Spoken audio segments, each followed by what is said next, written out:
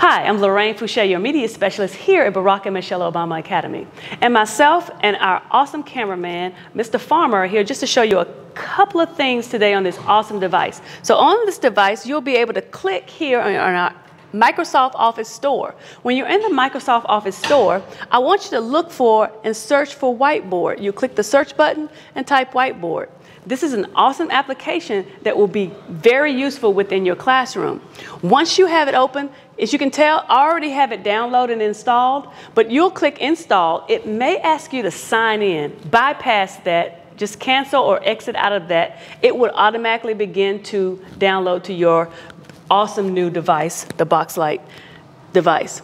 Once you get to this point, you'll click launch and it will launch. Of course, we need to go ahead and accept. With any applications, you have to give it rights. And it's going to get started. I'm going to enlarge this. And obviously, you see me using my fingers. We can definitely use our fingers. And you know you also have your nifty pins on your board that you can utilize as well. So let's go through the get started.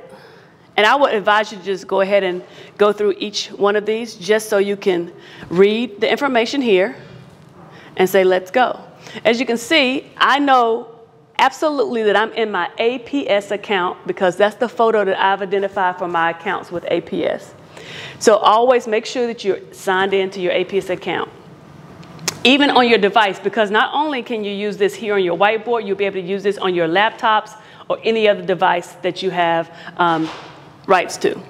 So in this device, today. We just wanted to look in this particular application, application today. I wanted you to just see it, and it is a whiteboard. You can see once I touched it, and it's a plethora of paper. Um, basically, if you see, it's one long continuous sheet of paper. Yes, you can take your time and add things to it, almost like a slide presentation or a PowerPoint, but that has individual slides. Remember, this is one long sheet of paper, so you have to make sure that you are um, zoomed in or zoomed out to see things. Um, we'll go over the toolbar quickly and remember, this is not your only tutorial. This is just a little introduction just to see how you can actually add applications on. But in this particular application, you have the pen tool and all these awesome colors, rulers, ropes, and all kinds of stuff. You have the alphabet where you can type tool if I wanted to type something.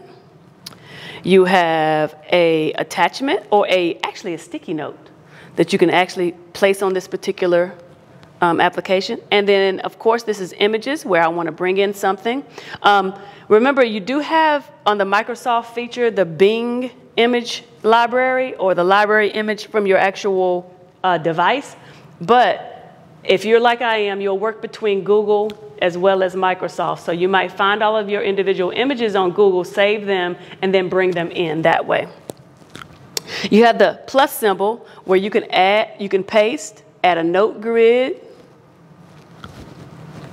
Let's go back to that plus symbol. A note grid, list, this is one of my favorites. Actually, that one is too. Follow up preview list, um, template, stickers, PDFs, Word documents, and PowerPoint documents. You can embed all of this into your nice area here. If you want to get rid of anything, you can kind of click it and the trash can goes there. It's kind of intuitive, and I know you'll get there. So once again, paste a note grid. I'm not going to go too much in depth in this, but it's a little note grid, and you can actually slide them out if you wanted to re um, situate it and all of that good stuff. And as well, as I said, you can zoom this in so you can actually see the entire thing. It's so cool. And hit that trash can to delete anything that you want to get or start over with. Um, also up under here, we have the list preview. So you could have a um, heading and different tasks that the students must complete upon entering your classroom.